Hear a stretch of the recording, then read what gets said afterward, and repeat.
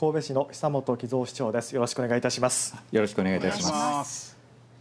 まあ今のニュースでもありましたけども兵庫県内で今日8人の感染が見つかって、まあ東京を中心に全国での感染が広がっています、特に若い人が多いということなんですが今の現状についてどう思われますあの少し状況が変わってきたのかなと思います、えー、あの神戸市内ではあの5月の20日から一月余り感染がゼロという状況が続いてきたわけですが、はい、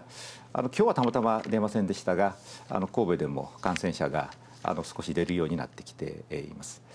あのやはりあの東京でですねあのこれだけ連日多数の感染者が確認されていますからやっぱりあの東京大阪からのこの感染をいかに防ぐのかというのも一つのポイントだと思いますね。これ従来からお願いをしてきたわけですがあの特にまあ東京であの感染者が多数発見されているような場所にはあの行くことについてはですねやはりあの慎重に考えていただきたいなというふうに思います。市長としては市民に警戒を呼びかける段階だというふうに言える、い、そう思います。はいはい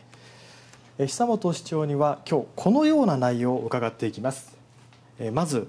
特別定額給付金、まあ、10万円の給付はどうなっているのか。そして政令指定都市ではこれ初めてとなります。コロナ対策を独自に検証した報告書について。またもう一つ今感染拡大中ということで、まあ、神戸市の感染症対策第2波の備えについて伺っていきます。まず1つ目です。フリップを変えます。こちら神戸市内の特別定額給付金の給付率ですが99.1%かなりもう高い数字が出ていますね。はい。あのかなり速いスピードで、えー、給付ができていると思います。6月の20日前後の時点でもうすでに9割ではい、で今は今も申請が届いていますが大体1週間から10日ぐらいで振り込みができていますから、まあ、順調にあの届いていると思います。その要因というのはあの職員のがん皆さんの頑張りですね、はい、4月のまだあの給付金の準備室の段階で、はい、あのこの職員の皆さんの仕事をしているところを土曜日に行ったことがあるんですが、はい、実に見事に仕事の段取りを考えてくれていました、次にどういうことが起きる次はこういうことが起きるということを考えてあのきっちり準備をしてくれているのを見ましてね、はい、もう全幅の信頼を置いてあのあとはあの任せてきました。はい。あのサニーさんスタジオのサニーさんは届きましたか？神戸市民ですけどね。いやもうね以前あの久間さんがね長期来られた時には今月末まで、ね、要するに6月末までは絶対振り込まれますよって言ったらね見事6月30日に振り込まれました。ありがとうございました。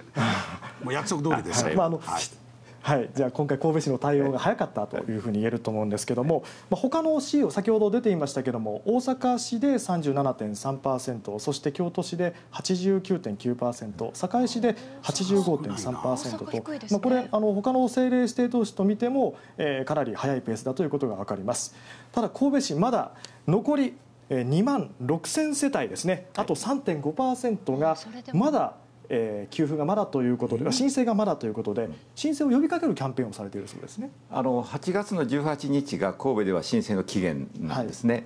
でそれまでにとにかくこの給付金を隅々まであの行き渡らせるということをぜひやりたいと、はい、もう一度ですねあの申請書をお送りをします。はい、でその際実はあの事態を考えておられる方もいらっしゃると思いますので、えー、最終的にはお一人お一人の判断なんですけれども。できることならば受け取っていただいて神戸市内のお店で使っていただきたい、それから社会的に意義があると考えられるような分野に寄付をしていただきたいと、まあ、そういうようなお願いの手紙も同封をしたいと思います。はいまあ、そのキャンペーンを今行っているとはい、あのこれからスタートをします、はい、あのまあ、事態を考えておられる方もおられるでしょうし中にはあの世間のとの付き合いがなかなかあまりなくて、はい、あの定額給付金自身はひょっとしたらご存知ないかもしれませんから、はい、そういう方もいらっしゃるかもしれませんから民生委員の皆さんから声をかけていただくとか、それからあの視覚障害者の方がいらっしゃいます、はい、この視覚障害者の方はなかなかあの文字ではわからないので、このユニボイス音声コードというのが、あのツイッターチラシをお送りをしてこここれを読み込んでスマホで読み込んでもらえれば音声が流れると、まあ、こういう工夫もしたいと思います、はい、まさにもう最後の一人までということだと思います、はい、では続いての質問がいき、えーえ。ー政令指定都市で初めてのコロナ対策これ独自検証した報告書を作成したということなんですよね、はい。はい、もう報告書を作成した要因要因といいますか、きっかけは何だったんでしょうか？あのこれは、はい、250ページ余りの非常にあの詳しい報告書なんですがとにかくコロナ対策は誰でもそうですけれども初めての経験でした、はい、まあ、試行錯誤であのもうとにかく無我夢中でやってきたわけですけれどもしかしこれはあのまた第2波が来るかもしれません、はい、その時にあのこの第1波が来た時の我々の対応というものがあのベストだったのか課題として残ったものは何なのかあるいは良かったところは何なのかそれを検証した上で第2波への対応に備えたいと、まあ、そういう思いで。ただこれはあの私は一切タッチしておりません。あの副市長以下のチームの皆さんがにもう全面的に作業はあの任せました、はい、ではいくつか実際の事例を見ていきます、うん、こちらの中継画面に戻ります、はい、例えばですねえー、学校園の、まあ、休校措置についてなんですけども、えー、まあ、休校措置を市長が教育委員会に要請した段階でツイッターで発信してそして保護者に通達がしたんですけどもその時に学校園に皆さんが知らなかった聞いてないよということで今現場に混乱が生じたという報告があるんですけど、はい、この点についてはいかがですか？あのそういうふうに検証報告書では書かれています。えー、あのツイッターで情報発信をするということのメリットデメリットはあります、はい、ただあのやはりあの行政としていろんな方法で情報発信をするということが必要ですので私もツイッターを使っています、はい、それであの例えばあの休校を継続するというような場合には市長が教育委員会に要請をするわけですが、はい、その時にすぐにツイッターで情報発信したわけではありません、これを情報報道機関に提供しそしてそれがもう世間にあの知られるようになった時点でツイッターで発信をいたしました、はい、しかし教育委員会がこれを決定しそして学校に行く前にツイッターであの知ることになった保護者の皆さんからは学校に対して多数の問い合わせがいったことは事実です。でこの検証報告書にあるように混乱が生じたということも事実だというふうに思いますからこの検証報告書では大きな重要な決定がある場合にはこういう動きがあるんですよということを教育委員会の方から学校現場に知らせる方がいいのではないかという指摘をあのここではされていますね。はい、もう一ついきます。はい、こちらまあ患者の情報の公開、市民の注意喚起という意味でもっと情報を公表してほしいという意見、あるいはプライバシーの保護ですね。市の情報によって患者が特定されてしまった、こういう事例もあるわけです。現場の保健師さんは悩んだというふうに書いてありました。これは市役所の中でもあの意見の食い違いがありました、はい、例えば報道機関の皆さんや市民の皆さんから多数声をいただいている部局はですねこれはできるだけ情報公開をしたい、はい、感染予防につなげていただきたいという発想に立ちます。しかし感染された方と実際に接触する保健師の皆さんは感染された方はものすごく大きなショックを受けていて、はい、そしてあの感染された状況をお話をするとそれが公開をされて自分が特定されるかもしれない。そうすると家族にも周りにも迷惑をかけるかもしれないからあのそこを非常にあの心配をされる、はい、そういう心配が広がるとですねひょっとしたらもう検査を受けないということにつながるんではないだろうか、そういうジレンマがあったことは事実です。はい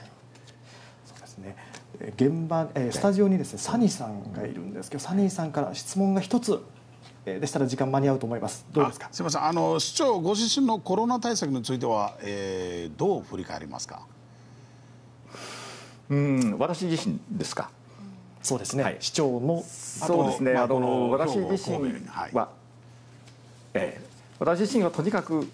感染しないようにするという、はいまあ、これがまあ基本ですね。それからあのとにかくいろんなことが起きていますから情報をきっちりと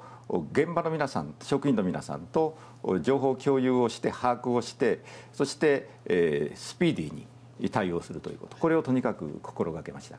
はい、はい、まあ、そしてまた市長現あの現状をですねこう報告書として課題を出したんですけどもこれから第2波の対応ということで最後に一言お願いいたします。あのまずあの感染が広がらないのが一番いいわけですが感染の兆候を素早くキャッチすること。そのためにはあの PCR 検査、はい、この限界がある。万能ではないということをよく認識とした上でこれを積極的に使うということと不幸にして感染が広がった場合にはきっちりと入院をしていただく。民間の療養施設も確保していますからしっかりとした医療提供体制と療養体制これを用意をしていますからこれがしっかりと提供できるようにする、はい、これに尽きると思います。まあ、神戸市はそのけんホームページで検証のその提案意見の募集もしています。皆さんもぜひお寄せください、はい、今日は久本市長にお話を伺いました。どうもありがとうございました。ありがとうございました。ありがとうございました